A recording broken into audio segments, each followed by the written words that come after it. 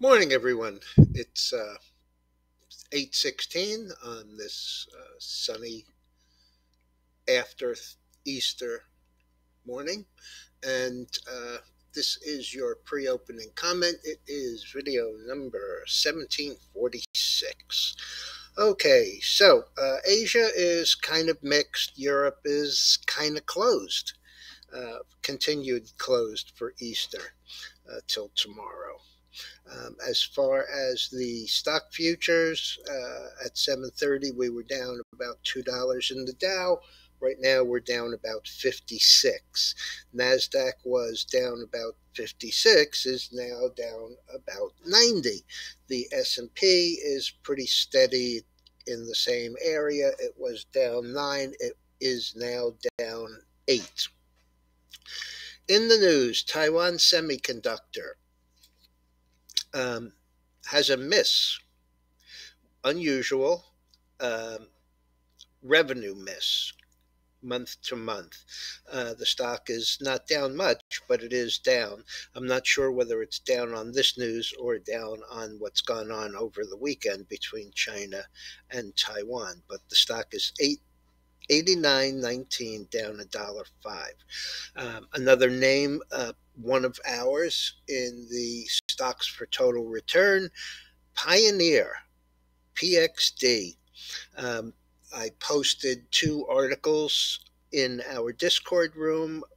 Uh, both deal with ExxonMobil having held, already held, preliminary talks uh, with Pioneer. Um, I mentioned last week, a day or so, that uh, Pioneer is not a huge company, but it does have huge reserves, and those reserves are in the Permian. There's also a Heard on the Street from Saturday's uh, Wall Street Journal that talks about Exxon uh, looking at what they call a Permian prize. Uh, MU, Micron, uh, I haven't seen any specific news on it.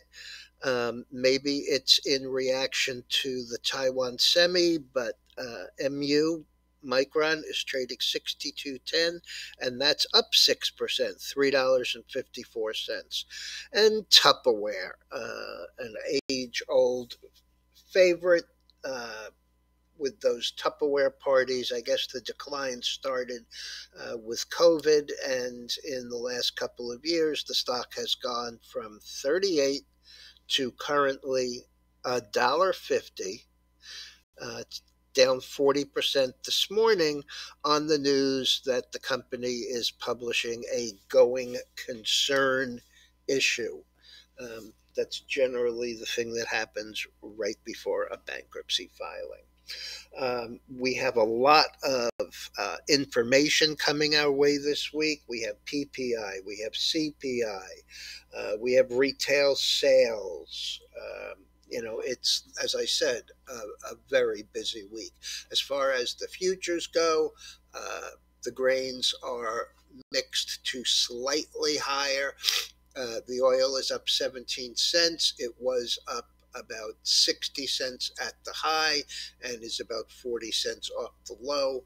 Surprise of surprises, nat gas is up 4.3 cents. The gold is still giving back a little, although it's come a very long way, and I kind of expect uh, 2000. Uh, 1980 to 2000 to be an area that holds it on this pullback currently.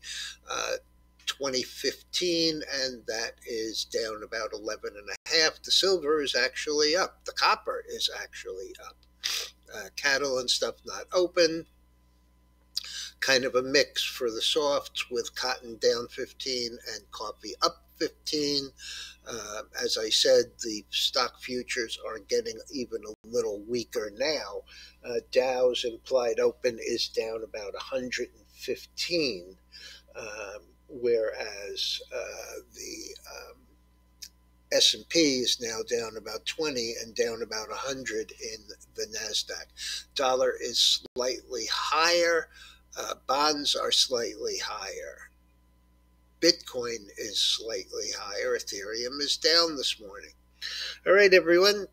uh, we got some catching up to do, I would say. Looks like it's going to be towards the downside, uh, but I'll be back later. Have a good morning.